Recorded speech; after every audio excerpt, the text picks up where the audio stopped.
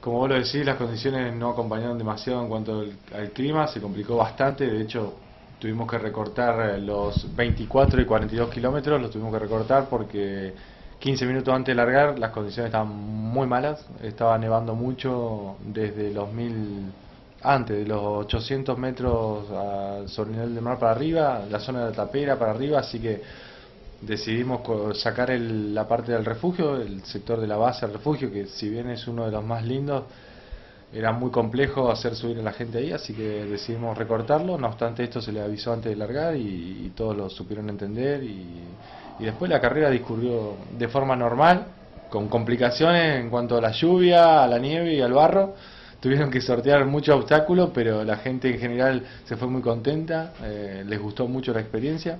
Eh, fue bastante duro por ahí para para la gente que estuvo apostada muchas horas en la montaña, pero, pero como te digo, de una u otra manera supieron sobrellevarlo y, bueno, estamos muy contentos y muy felices y agradecidos a ellos también por, por haber hecho posible esto, ¿no?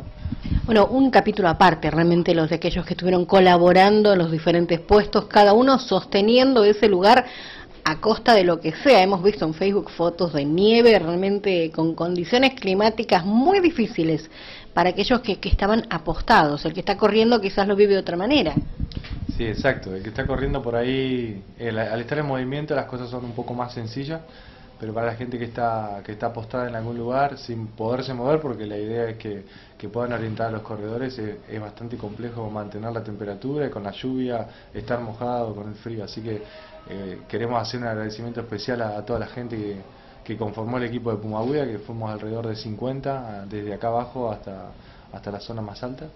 Así que, bueno, es fundamental para nosotros, gente que nos viene ayudando hace mucho tiempo, la mayoría, que confía en nosotros, tanto en Cabeza Indio como en el Pumahuida, así que recontra agradecido. Y después a todos los corredores que, que salieron a hacerle frente al clima, a pesar de todo, y que, y que le pusieron la mejor onda, porque en general vimos caras de, gente contenta y, feliz arriba y, abajo. Y ahora la devolución en las redes también es muy buena, así que eso nos, llena de energía y, de entusiasmo para, para seguir apostando a, hacer este evento por muchos años más.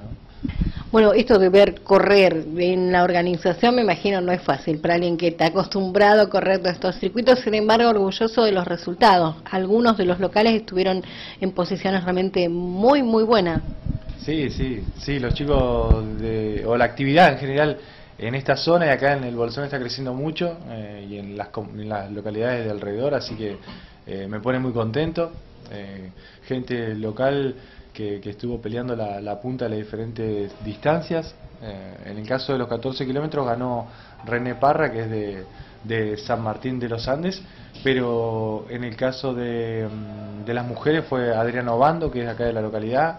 Los 24 kilómetros eh, fueron liderados prácticamente en plenitud en la rama masculina por Jonathan González, pero bueno, sobre el final eh, lo, alcanzó y le ganó Jerónimo Barraquero de, Inahuapi. Eh, Claudia Troncoso de Lago Pueblo fue la que se quedó con la victoria de, de los 24.